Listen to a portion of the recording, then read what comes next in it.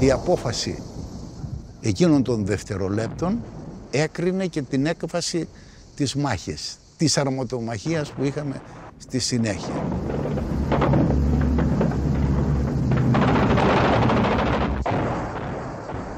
Καταφέραμε να απεγκλωβιστούν αυτοί οι άνθρωποι που θα εγκλωβίζονταν αν οι Τούρκοι πήγαιναν στη Μόρφου, θα απέκοπταν την δίωδο διαφυγής.